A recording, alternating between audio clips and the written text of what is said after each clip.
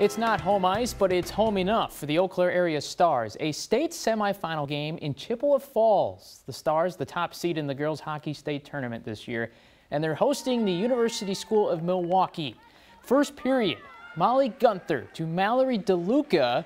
She sneaks it past the goalie, and the Wildcats on the road lead 1 0 thanks to a power play goal and they're staying aggressive. First period, Eileen Carey on the attack. This time, the shot stopped by Stars goalie Alicia Smith, one of 11 saves for the game.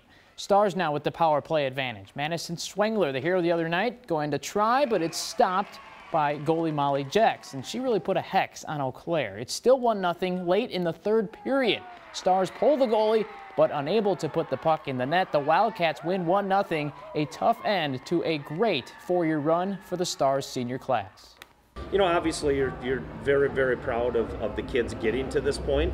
Um, you know, the senior class has accomplished a lot, being in two state tournaments, being in two sectional finals. So, you know, they've experienced a lot of games like this, and, you know, we're obviously um, going to miss this group of kids. Jex with 18 saves for the Wildcats in the win.